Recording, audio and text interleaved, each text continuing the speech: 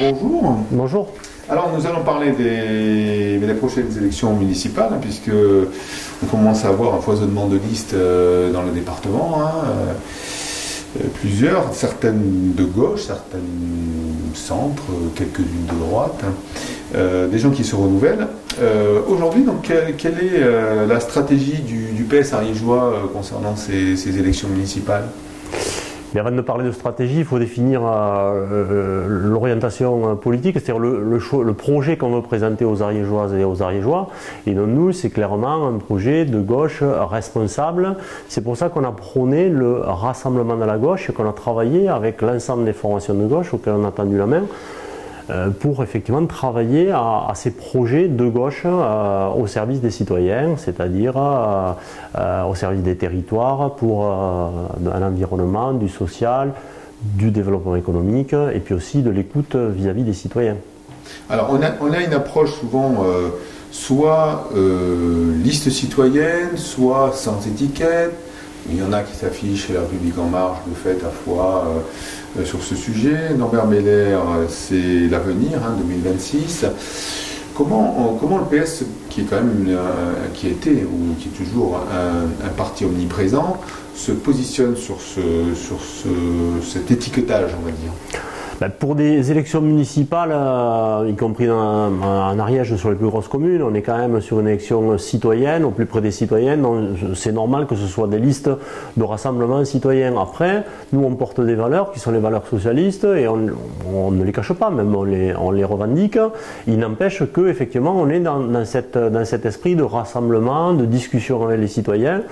Après, je, constate aussi que certains se cachent euh, ou cachent euh, ou mettent leur étiquette dans la poche. Je crois que c'est pas c'est pas mauvais d'avoir une opinion politique, d'avoir euh, une, vision.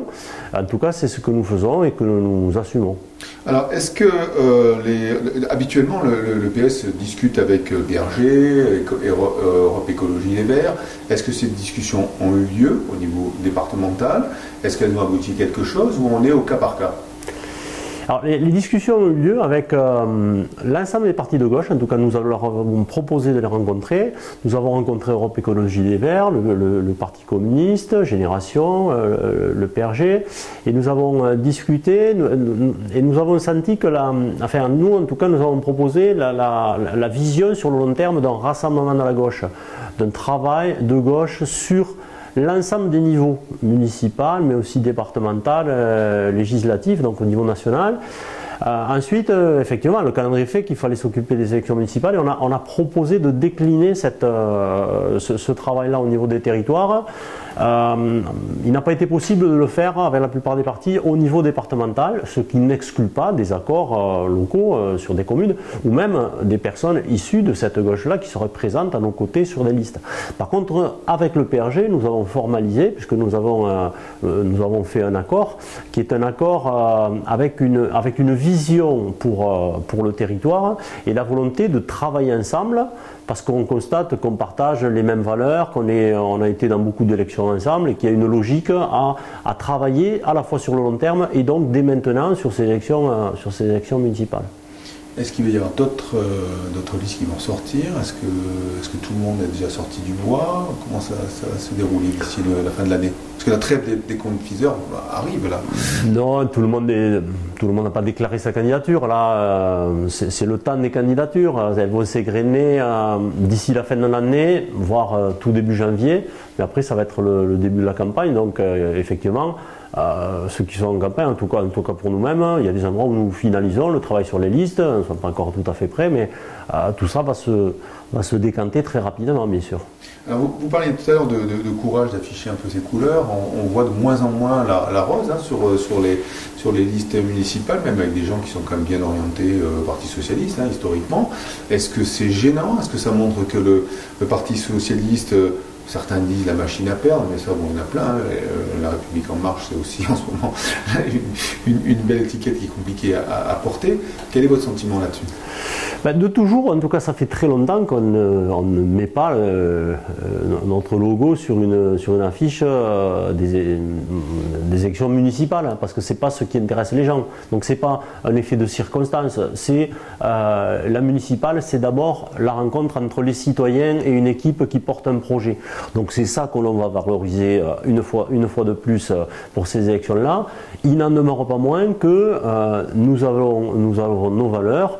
Euh, les gens connaissent la plupart de nos candidats et on ne va pas cacher le fait qu'on est socialiste et ça va se traduire dans les projets qu'on proposera puisqu'effectivement ça va être des projets d'une gauche responsable avec l'écologie, la défense de l'environnement mais également la défense du social, euh, un développement économique, euh, des propositions au service citoyens. Et ça ça peut se décliner au niveau des élections municipales. Et quand on parle municipal il faut bien avoir l'esprit que c'est les élections municipales bien entendu et les élections des communautés de communes ou d'agglomérations qui vont en, écouler.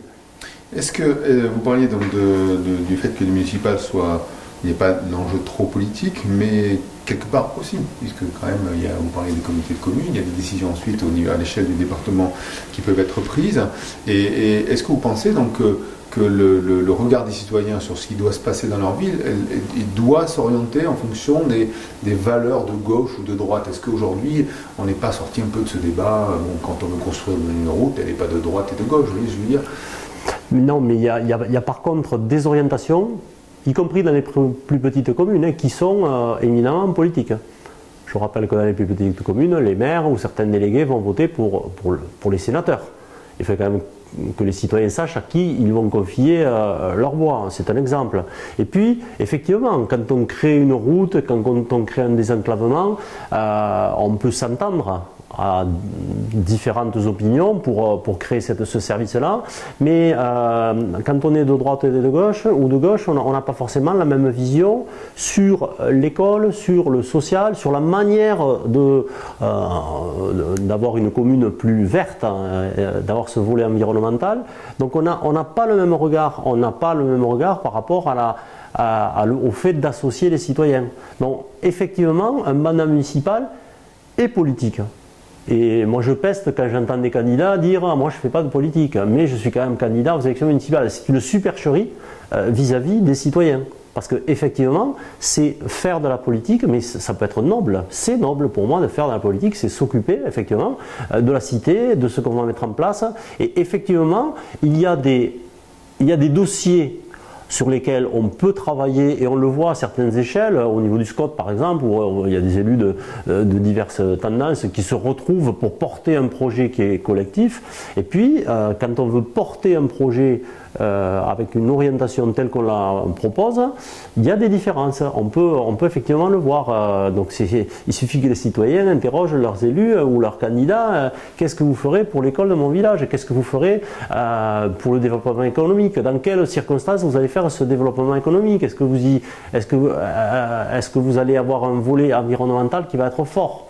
Comment vous allez associer les citoyens Parce que ça, c'est important. Euh, les candidats, on voit partout fleurir une volonté d'écouter les citoyens, mais il ne suffit pas de les écouter maintenant parce qu'il y a euh, une élection derrière. Il va falloir que, euh, travailler à la construction d'une démocratie qui soit représentative, parce qu'il y a des élus, mais qui ait un volet participatif, c'est-à-dire qu'on implique les citoyens et qu'on leur donne des pouvoirs de décision sur les, sur les projets qui seront portés. Est-ce que le PS aide les candidats ou les, futurs candidats à structurer leur, campagne, structurer leurs propositions Vous avez un service qui permet en fait d'aider euh, les, jeunes élus, hein, parce que je suppose que euh, comme partout, ben, il, y a, un renouvellement, hein, on l'avait dit il y a quelques temps, donc euh, il va y avoir des jeunes élus, ils sont peut-être un peu désemparés par rapport à, comment, comment, on gère une commune. Est-ce que c'est un, de votre travail? Tout à fait, oui. Euh, effectivement, on souhaite qu'il y ait du renouvellement et on travaille sur ce renouvellement, donc il va y avoir des, nouveaux candidats et on l'espère des nouveaux élus. Donc effectivement, on les aide. Après, l'élection, elle est très locale, donc les propositions partent souvent du local. Mais en termes de propositions, on a quand même, nous, une vision de ce que doit être le, mandat municipal un mandat municipal porté euh, par des socialistes, par, euh, euh, par des élus de gauche, et donc on a, on a une certaine unité sur l'ensemble du territoire, sur les volontés qu'on veut, veut appliquer. Et puis il y a aussi des échanges entre, entre candidats, les bonnes idées, il faut qu'elles émergent, et puis il faut qu'elles soient portées à différents endroits, du territoire. Après une élection municipale, c'est quand même très local, et euh, il faut le ramener au local. Donc le projet, il part vraiment de la consultation des citoyens sur le local. Après, une fois que, les, que nos candidats seront élus, je l'espère pour beaucoup d'entre eux, effectivement, on les accompagne, on a des, des, modules de formation pour les accompagner. être élu, c'est un travail. Et maîtriser un budget, ça s'apprend. mener un certain nombre de, chantiers sur un territoire, ça s'apprend aussi. Donc on, est bien, sûr un soutien de ceux qui le demandent. Alors on en parle peut-être un peu trop tôt, mais ce qui est important dans une élection, c'est la participation. Hein attendu qu'il y ait une participation. en général, les municipales, il y a un taux de participation assez élevé, hein, contrairement peut-être aux européennes, encore que ces dernières européennes ont un peu changé la donne. Est-ce que vous avez des, vous êtes, vous êtes ambitieux par rapport à la participation? Qu'est-ce qui, qui, conditionnera la, participation des citoyens? La participation des citoyens, c'est euh, déjà l'enjeu. les endroits où il y a un candidat, euh, dans les petites communes, ça peut arriver, euh, ça peut faire diminuer la, participation, mais c'est aussi le projet qui sera porté. Il faut donner de l'envie aux citoyens de se déplacer. Et, et, moi, je tiens bien à insister sur le fait que ces élections municipales, ce sont aussi des élections de communautés de communes ou d'agglomération. Il y a vraiment des projets majeurs en termes de développement économique, en termes de développement touristique, en termes d'aménagement du territoire, qui ne, qui ne pourront être portés que par l'intercommunalité, parce que souvent dans ces campagnes municipales, et je crois que les citoyens euh, vont se déplacer parce que c'est une élection de proximité et ils ont envie d'avoir ce lien avec euh, l'élu euh, qui va les suivre tout au long du mandat. Mais il, ne faut pas limiter le débat à l'enjeu de proximité qui est important. Mais il faut voir aussi qu'à travers leurs élus de la commune, ils auront aussi des délégués à la communauté commune pour des projets qui dépassent le cadre de leur territoire et qui permettront la structuration et le développement de l'Ariège.